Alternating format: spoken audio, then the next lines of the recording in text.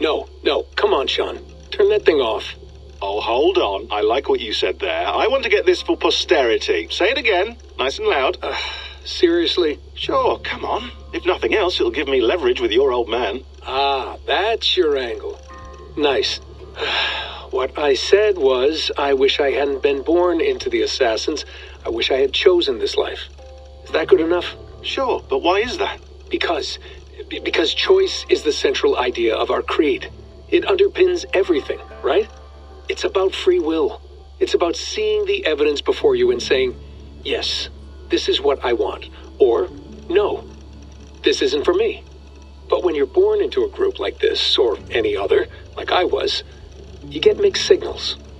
You get told over and over again, this is what we believe. These are the rules. This is reality. No deviation. And if you question it, oh, they look at you like you like you killed a puppy. That's hardly free will. It's a weird irony when free will is your central belief, but nobody wants you to believe otherwise. I don't know how to say it exactly, but I always thought there was something self destructive about our creed. If free will is the most important moral guidepost we have, we should be free to ignore it. To choose submission, for example. You know what I mean? Like, we should be free to side with the Templars. If it's really my choice, I could do that. Right. It's almost self refuting. A democracy could democratically elect a dictator or choose to get rid of democracy altogether within our creed is the seed of its own destruction. That's what makes it powerful, I think. And fragile. Right, right. The more freedom you have, the more risky it is, you know? Anyway, my dad has mellowed over the years, but he was strict when we lived on the farm. He ran a tight ship. I never got the impression that I was free to choose my path forward.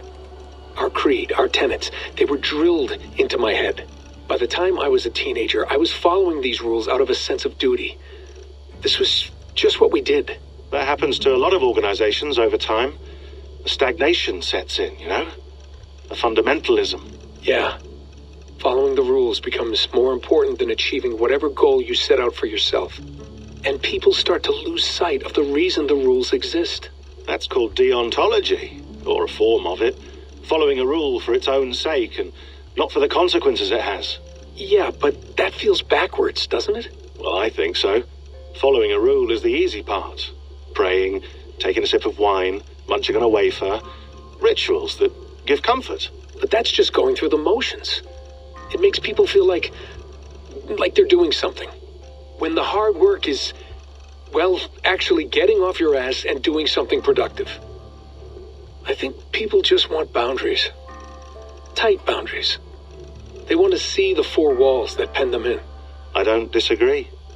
Anything outside that, anything that makes life more complex, that's scary. That's why I envy you. You chose this life. You went through that process and you decided, yes, I believe in this. Sure. It didn't stop me from being an insufferable know it all as a teenager, but I see your point. I would have loved to have been a know it all. I knew nothing. Not until you guys found me. Yeah. It wasn't until I met you, and Bex, and Lucy that I knew. I knew I wanted to be an assassin. Oh, thanks, Des. Come here. Bring it in, bud. I don't normally like touching, but I'll make an exception now.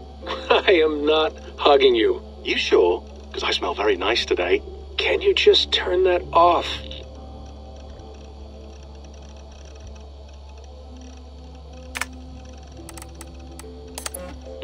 Hold on, I'll just set this here. Do you guys record everything we talk about?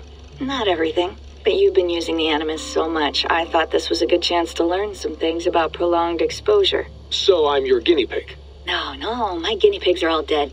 The Animus was too much for them to handle. Cute. Can I ask you about the bleeding effect? Any recent flashes? Any memories resurfacing? Yeah, the usual things. Ghost images of Altair and Ezio a few times a day. Nothing intrusive, just brief moments. They pass quickly, almost without me noticing, like a figure in the corner of my eye, or remembering a dream from the night before.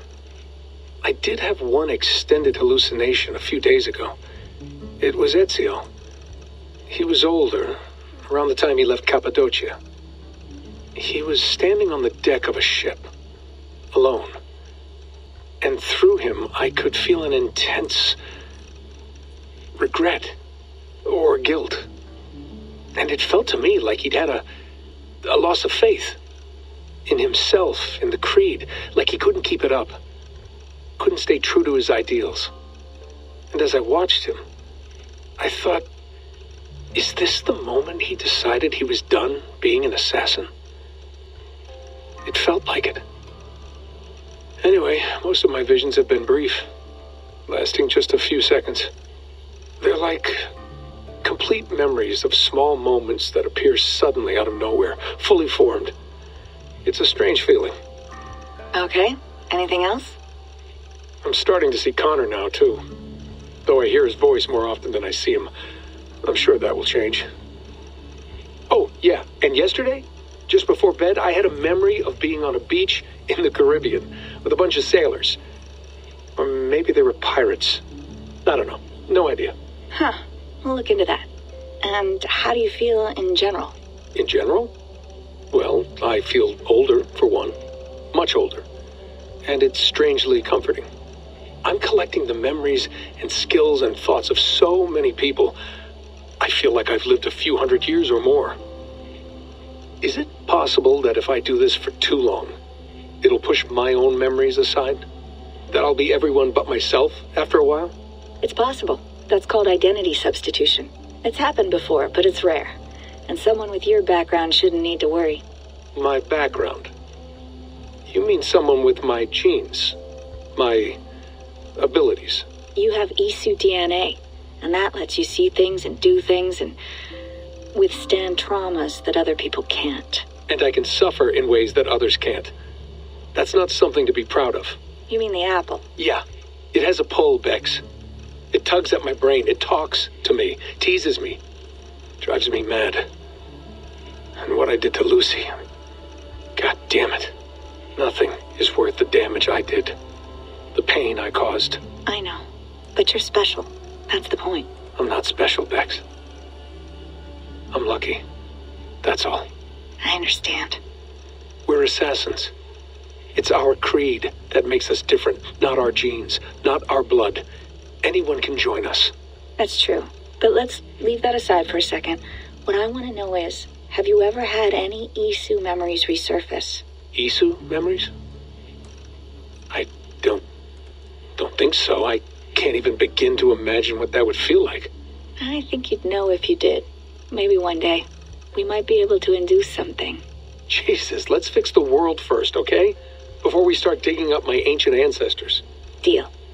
With my luck, I'll be related to some third-rate Isu like... like Sisyphus or something.